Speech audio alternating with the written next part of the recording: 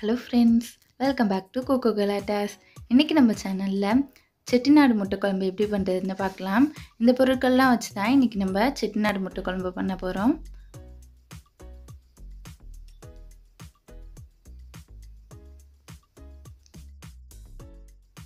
முட்டை குழம்பு எப்படி பண்ணுறதுன்னு பார்க்கலாம். ஒரு பேன் எடுத்துக்கிட்டு பேனில் ஒரு டீஸ்பூன் அளவுக்கு எண்ணெய் விட்டுக்கோங்க. எண்ணெய் நல்லா சூடானோன்னே ரெண்டு டீஸ்பூன் அளவுக்கு கொத்தமல்லி விதை சேர்த்துக்கோங்க. இது கூடவே ஒரு டீஸ்பூன் மிளகு. ஒரு டீஸ்பூன் பெருஞ்சீரகம். ஒரு டீஸ்பூன் சீரகம். அப்புறம் அஞ்சுலேருந்து ஆறு காய்ந்த மிளகாய். லவங்கப்பட்டை ஒன்று. நட்சத்திர சோம்பு ஒன்று ஏலக்காய் ரெண்டு இது எல்லாத்தையும் சேர்த்து நல்லா வறுத்து விட்டுக்கலாம்.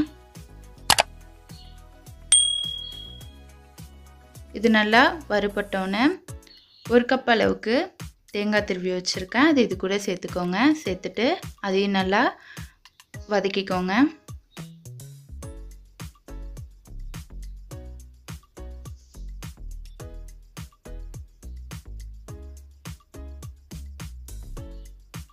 தேங்காய் நல்லா இந்த அளவுக்கு வதங்கின பிறகு ஒரு மிக்சி ஜாரில் சேர்த்து நல்லா பேஸ்ட்டாக அரைச்சி எடுத்துக்கலாம்.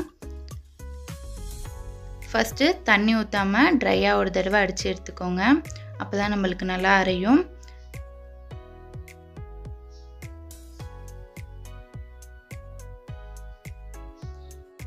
இது மாதிரி ட்ரையாக ஒரு தடவை அரைச்சி எடுத்துக்கோங்க. இது கூட தேவையான அளவு தண்ணி சேர்த்து நல்லா பேஸ்ட்டாக அரைச்சி எடுத்துக்கலாம்.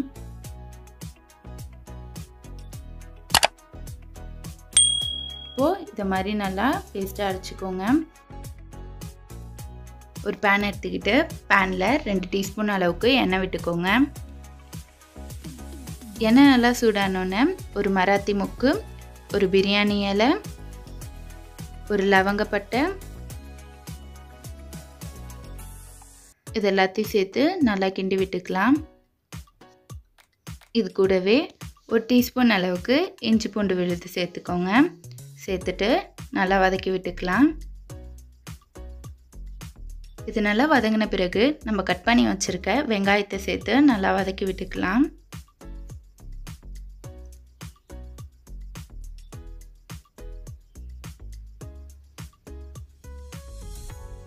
வெங்காயத்தை நல்லா வதக்கி விட்டுக்கோங்க சுருள்ற அளவுக்கு. இது கூடவே தேவையான அளவு உப்பு சேர்த்துக்கோங்க.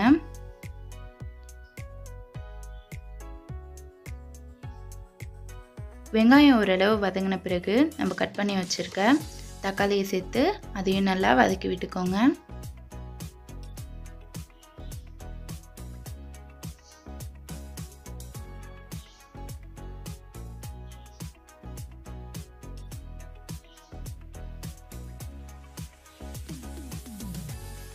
நல்லா வதங்கின பிறகு தேவையான அளவு கருவேப்பிலை சேர்த்து நல்லா வதக்கி விட்டுக்கலாம்.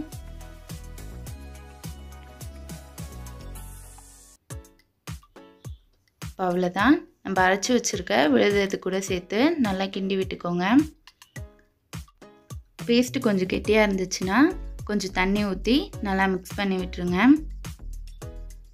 இப்போ இது நல்லா கொதிக்கட்டும். இப்போ நல்லா கொதிச்சிருச்சு. நான் ஏற்கனவே நாலு முட்டையை நல்லா வேக வச்சு எடுத்து வச்சுருக்கேன். அதை இதை மாதிரி நல்லா கீறி வச்சுக்கோங்க. மாதிரி நாலா பக்கமும் கீறிட்டு இந்த குழம்புல நம்ம சேர்த்துடலாம். அப்போ தான் நம்மளுக்கு குழம்பு அந்த முட்டைக்குள்ளே ரசம் வரும் அதனால தான் இந்த முட்டையில் நம்ம கீறுறோம் எல்லாத்தையும் சேர்த்துருங்க. சேர்த்துட்டு ஒரு தடவை நல்லா கிண்டி விட்டுருங்க.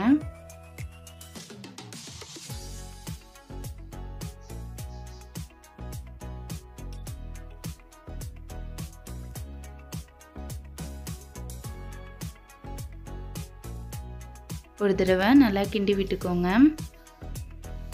இப்போது தேவையான அளவு கொத்தமல்லி சேர்த்து நல்லா மிக்ஸ் பண்ணி விட்டுடலாம்.